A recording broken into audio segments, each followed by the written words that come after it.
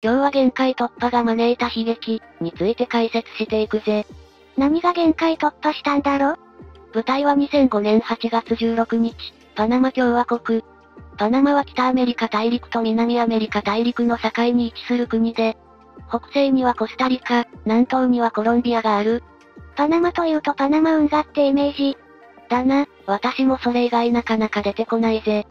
そんなパナマの首都パナマシティの郊外にある特面国際空港では、ウエストカリビアン航空708便が、慌ただしく離陸準備をしていたぞ。パナマの航空会社？いや、ウエストカリビアン航空は、かつて存在したコロンビアの航空会社で、カリブ海に浮かぶサンアンドレス諸島や、コロンビア本土の一部、そして中央アメリカへのフライトを中心に行っていた会社だ。708便に使用されていた機体は、マクドネル・ダグラス社の DC-9 を改良し、総発の後部エンジンが特徴の旅客機 MD-82 だったぞ。そういえば DC-9 って、売れすぎて会社が倒産寸前に追い込まれた、っていう伝説が残るほど、バカ売れしたみたいだね。らしいな、あまりもの予想を上回る人気で、生産が間に合わなくなってしまったんだよな。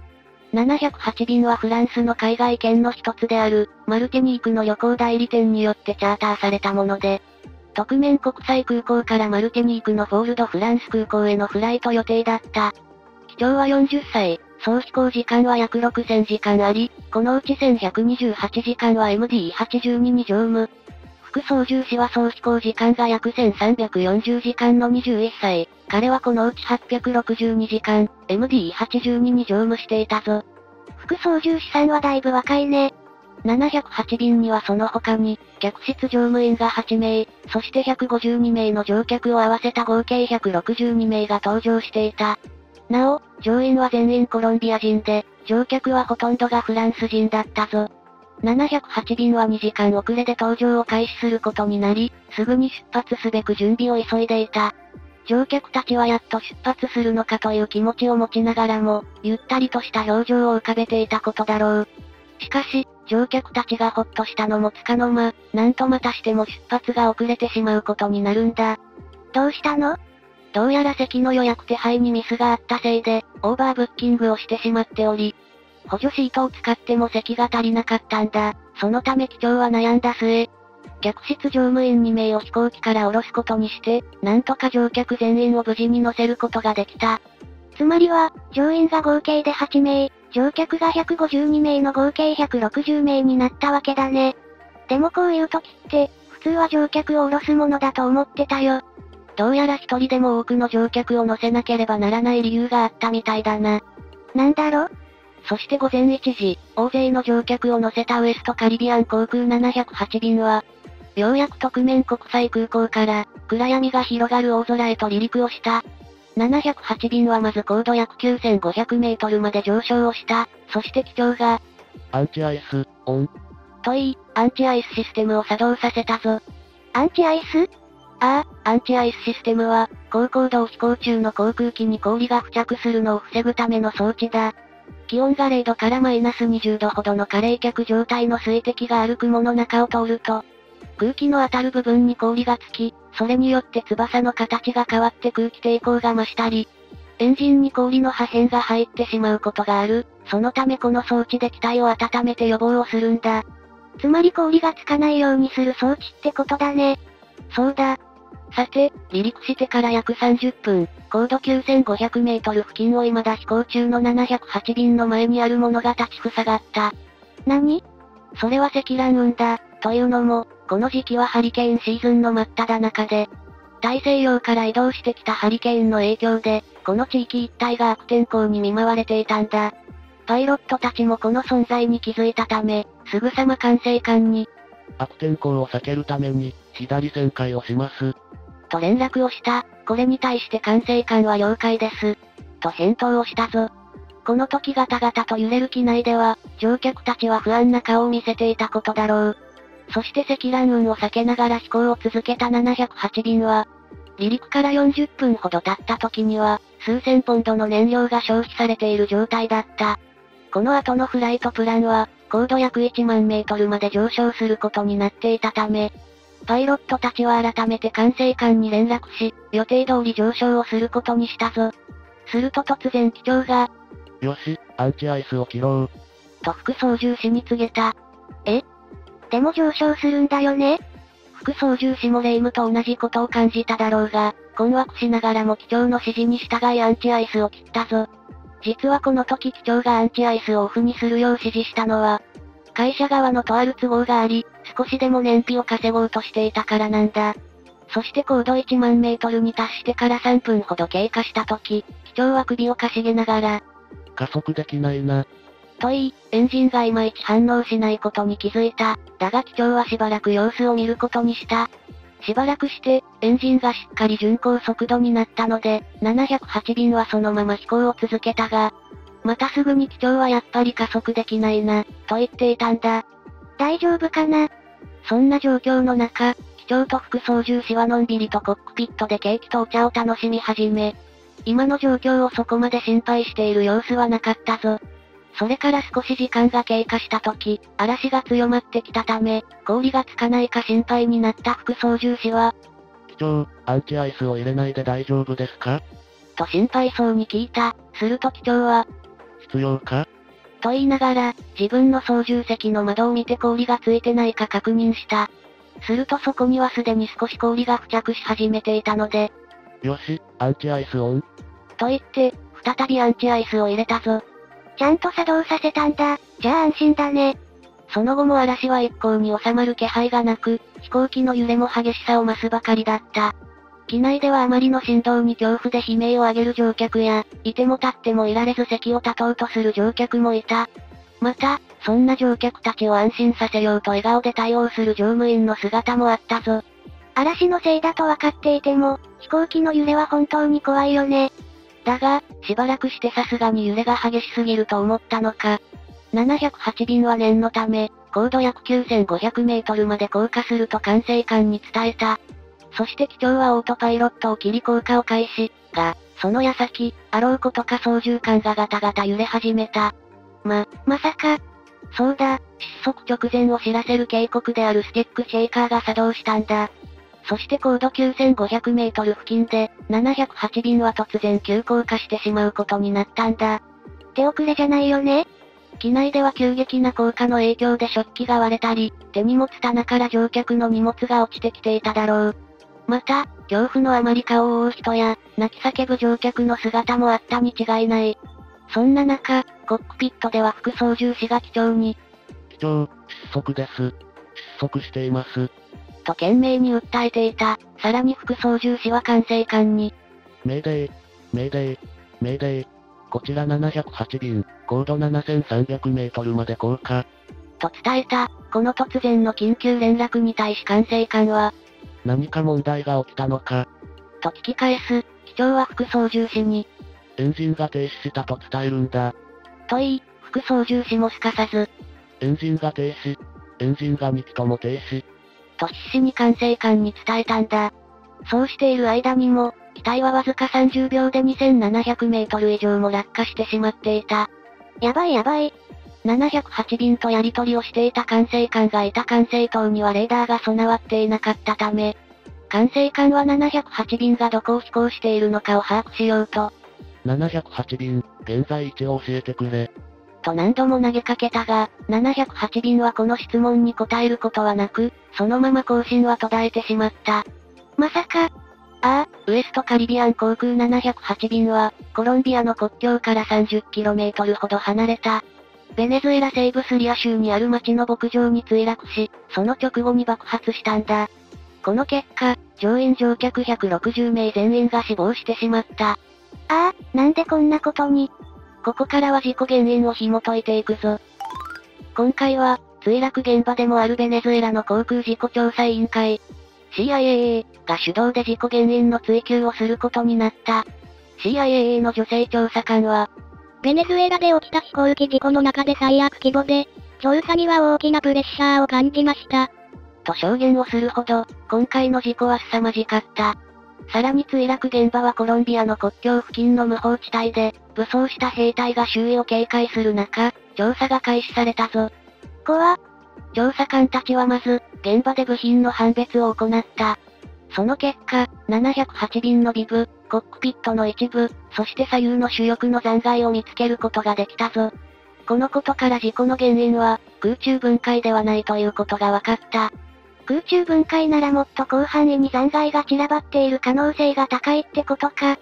それから調査官は、708便を担当していた管制官に聞き取り調査をしたんだ。すると、708便のパイロットから、エンジンが2機とも停止した。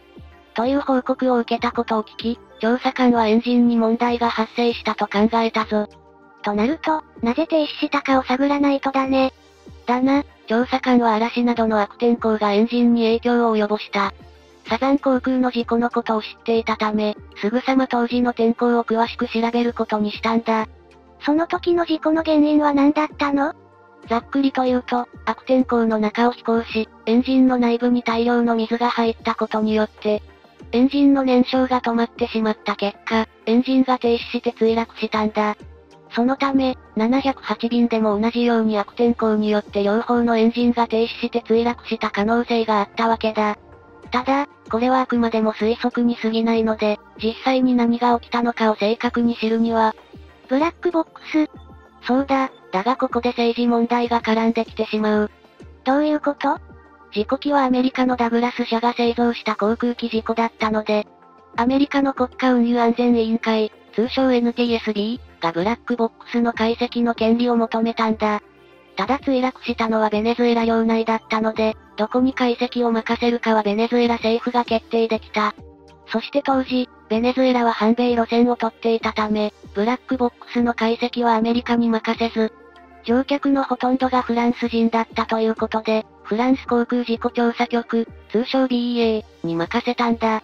アメリカとベネズエラの関係悪化が問題になっていたこと、聞いたことあるね。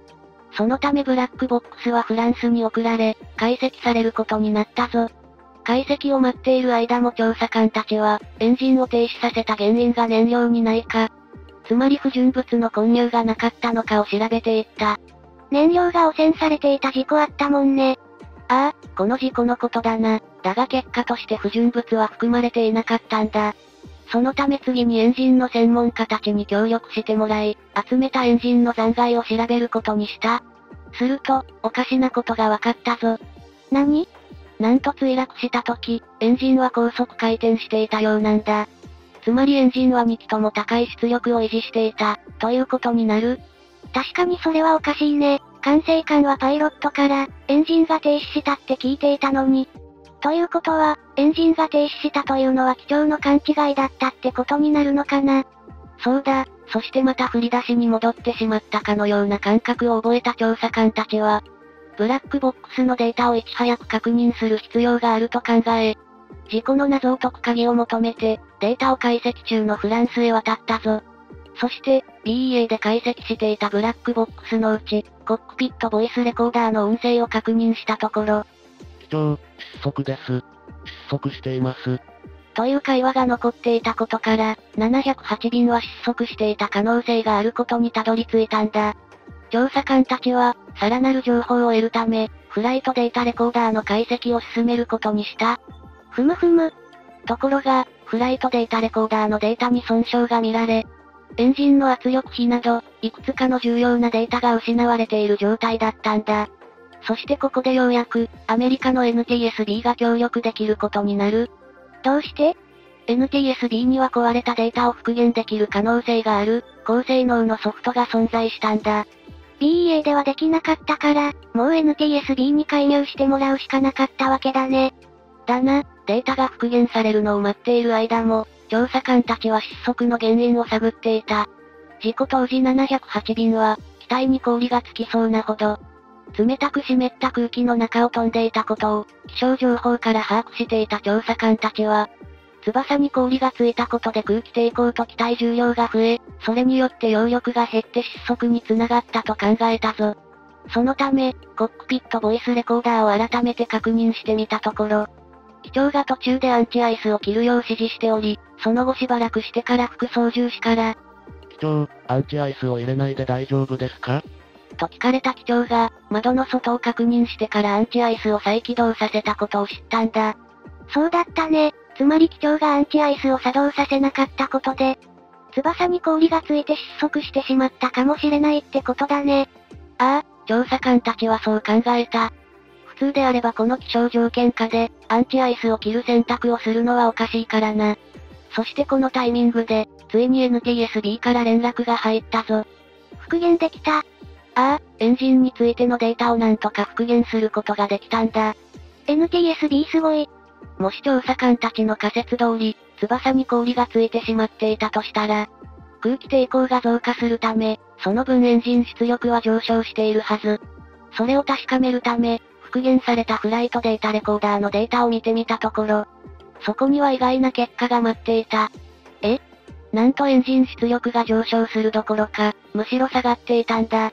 ええー、つまり着氷はしておらず、氷は事故原因から外されることとなったぞ。もう本当に謎なんだけど。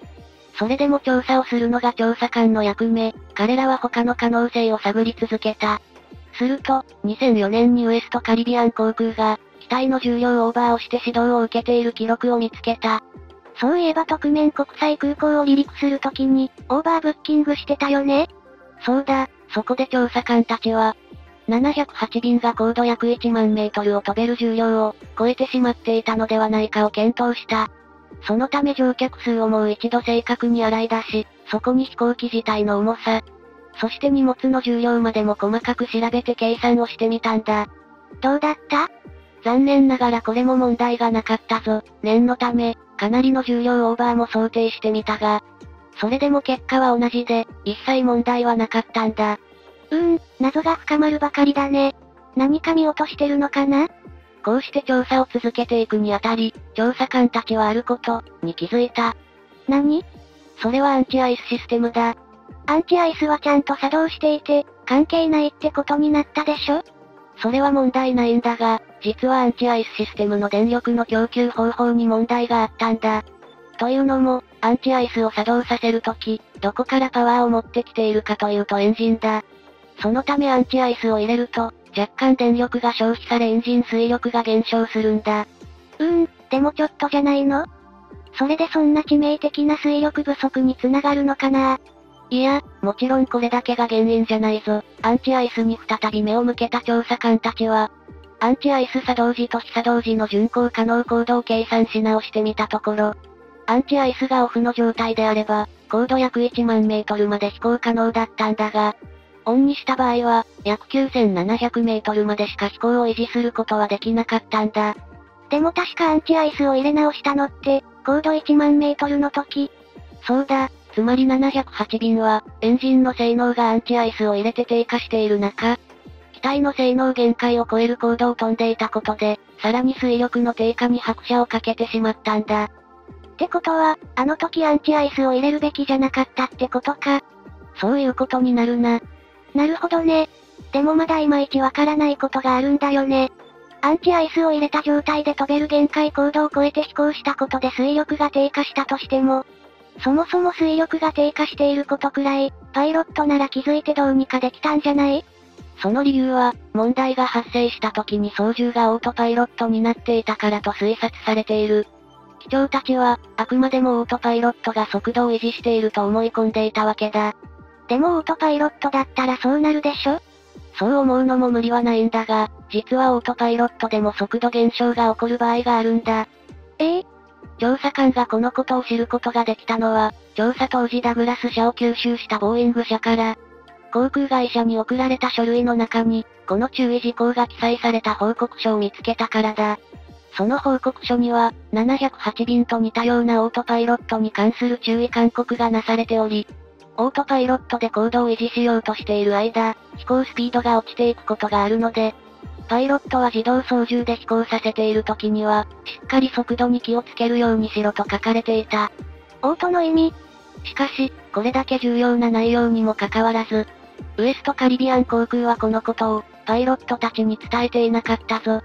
そんな大切なことを、もしこのことを知っていたら事故を防げたかもしれないのに。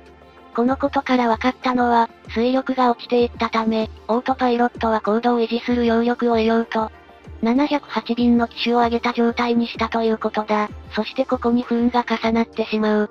というのも、乱気流によって上昇気流が発生し、より機種が上がってしまうことになったんだ。最悪のタイミングで、そして機種が大きく上がったことが、MD82 の機体特性でさらなる悪影響を与えてしまった。どういうこと？MD82 のように尾翼が T 字型になっている機体は、機種上げに伴い徐々に水平尾翼が主翼の影に入ることがある。こうなると空気が水平尾翼を包み込む形になり、昇降だがうまく機能しなくなってしまうんだ。すると失速状態から抜け出すのは極めて困難になる。なお、この失速状態のことをディープストール、というぞ。いろんな要素が掛け合わさって失速して、さらにそこから抜け出せない状態にまで陥っちゃったのか。そうだ、また、パイロットたちの対処の仕方にも問題があったと言えるだろう。コックピットボイスレコーダーの音声から、急降下する危機的状況になっても、機長は副操縦士に指示をすることはなく、完全にエンジンの停止だと思い込んでいたことが分かった。副操縦士も21歳と若かったし、年上の機長に強く言いにくかったのかもしれないね。でもこれはクルーリソースマネジメントがうまく機能していなかったと言えそうだね。調査官たちも報告書でまさにそのことを指摘しているぞ。